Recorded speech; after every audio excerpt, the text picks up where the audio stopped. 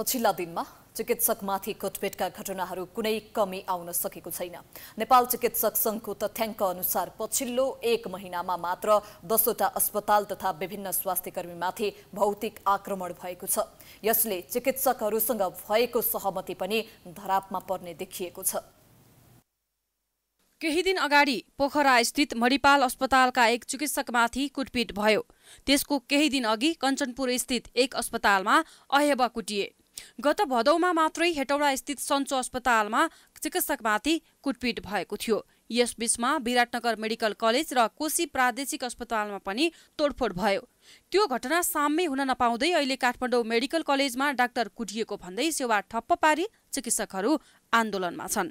यसरी पछिल्लो एक महिनामा मात्रै दसवटा अस्पतालमा चिकित्सकमाथि कुटपिट तथा तोडफोडका घटना भएका छन्। शनिबार मात्रै पाँच दिनदेखि आन्दोलनरत चिकित्सकसँग सहमति जुटेको थियो तर भोलिपल्टै काठमाडौँ मेडिकल कलेजमा कुटपिट भएपछि चिकित्सकहरू पुनः आन्दोलित भएका छन्।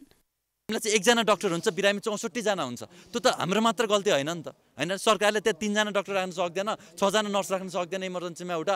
होइन बिस वर्ष भइसक्यो सरकार दरबन्दी खुलेको छैन। सरकारी हस्पिटल कति बने त ल? होइन र? यो हस्पिटलहरू सबै देशभरिको स्वास्थ्य त सरकारको जिम्मेवारी हो नि। सरकारको जिम्मेवारी त बचाउने हो नि मान्छेहरूलाई। डाक्टरलाई बचाउन सक्दैन यो स्वास्थ्यकर्मीलाई बचाउन सक्दैन भने यस्तो सरकार के काम? होइन एउटा त स्वास्थ्यकर्मी हुनुपर्ने हो नि त। अराजक हुनुपर्ने होइन यसरी दैनिक भने जसो चिकित्सक कुटिने र सेवा ठप्प पारी आन्दोलन गर्ने परिपाटीले स्वास्थ्य क्षेत्र तहस नहस भएको छ। अझै अन्य समयमा राम्रोसँग उपचार पाउनै मुस्किल हुने सरकारी अस्पतालको अवस्था त हरिबिजोग नै भएको छ। तर यस्ता घटना न्यूनीकरणमा सरकारवाला निकाय गम्भीर बन्न सकेको छैन।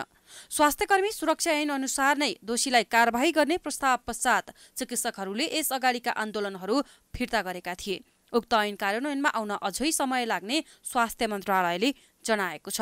यसरी चिकित्सकमाथि कुटपिटका घटना बढ्न थालेपछि स्वास्थ्य तथा जनसङ्ख्या मन्त्रालयले सत्य तथ्य छानबिनका लागि उच्च स्तरीय कार्यदल बनाउने तयारी भइरहेको जनाएको छ।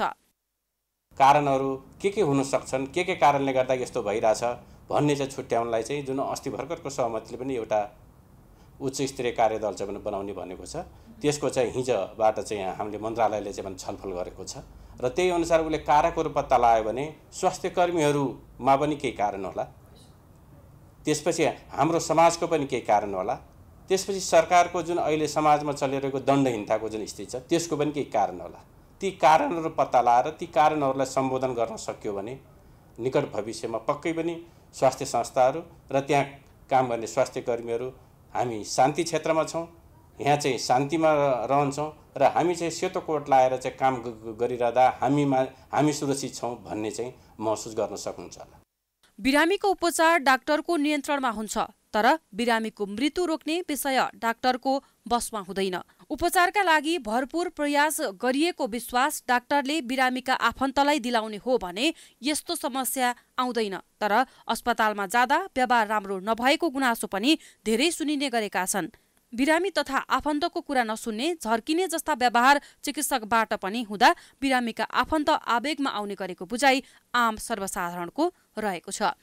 अराजकता देशमा चाहिँ धेरै बढेको भएर पनि डक्टर साहबहरूलाई होइन मेडिकल फिल्डमा पनि अब कतिपय हस्पिटलमा हस्पिटलकै गल्ती। कतिपय ठाउँमा काम राम्रो गर्दा गर्दै पनि अब डक्टर साहबहरूमाथिको व्यवहार चाहिँ देशमा चाहिँ अराजकता बढी भएको कारणले गर्दाखेरि पनि यस्तो भइराखेको होला। उहाँहरूको पनि अब आफ्नो ठाउँमा जायजै होला। तर अब हामी जस्ता अब अपरेसन गरेका बिरामीहरूलाई चाहिँ अलिकति दुःख भयो भन्नु पऱ्यो होइन? टाढोबाट आउँदा। सरकारले अब अविलम्बन यस्ता उहरू रोक्ने काम गर्नु पर्यो। पछिल्लो समय चिकित्सकमाथि हातपातका घटना घट्नुमा राज्य संयन्त्र चिकित्सक र बिरामीका आफन्त तिनै पक्ष जिम्मेवार देखिन्छन्।